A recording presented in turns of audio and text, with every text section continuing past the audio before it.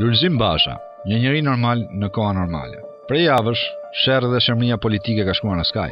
Askush nuk kujdeset më për gjuhën.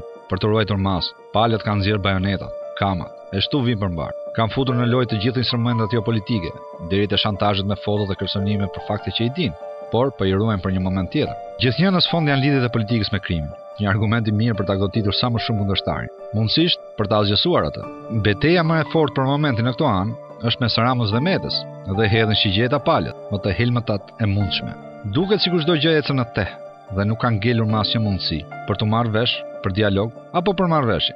Fjalori i përdorur nuk kursen askënd dhe asgjë. Në këtë stuhi që ka përfshirë politikën shqiptare, Duket se vjen lart e poshtë, pa bërë shumë bujë, një njeri normal. Është lideri i opozitës, Lulzim Basha.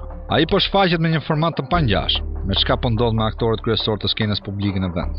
I vëmendshëm, i qeshur, dëgjon njerëzit, takon qytetarët aty ku janë dhe jetojnë vështirësitë e ditës.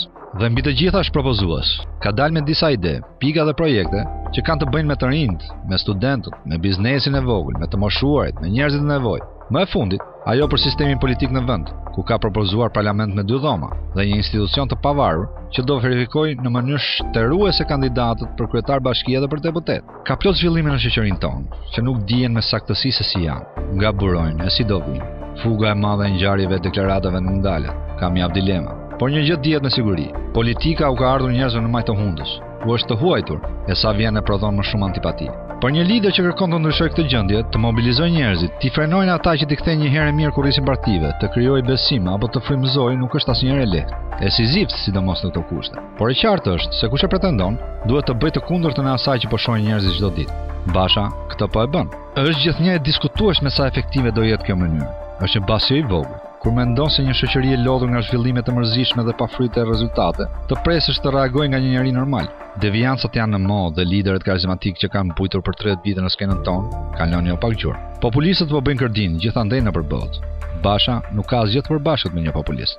Por sado vonë, në atmosferën politike, krim, pushtet, para, oligarkë, dikush që nuk ka lidhje me bandat, që nuk ka drekuar, darkuar, kremtuar, nuk i ka vizituar hotelet e tyre, që nuk thotë me arrogancë ta bëj prapë, i ka të gjitha shanset dhe ndoshta është i dënuar të vlerësohet. Në kohën kur relativizohet gjithçka, me gjasë mund të diskutohet edhe nëse a është kjo një vlerë apo jo.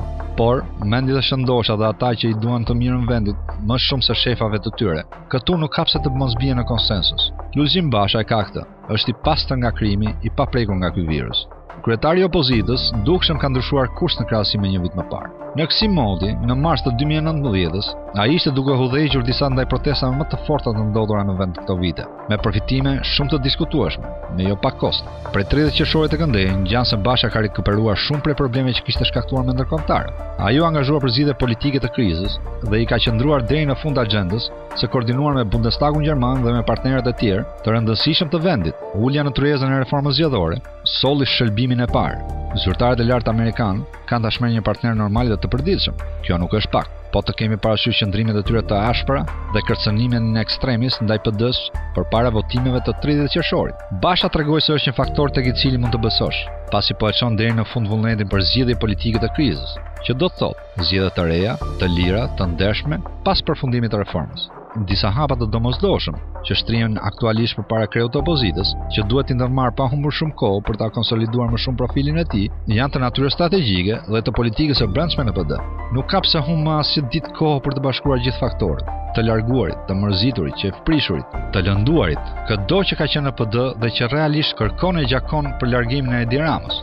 Kjo do t'i jepte fund menjëherë çdo lloj debati dhe diversioni me sa, sikur paska një luftë se kush e drejton opozitën. Po ashtu, do të rriste peshën dhe forcën e presionit përballë Ramës, i cili në fund do të duhet të pranojë zgjidhjen politike të krizës.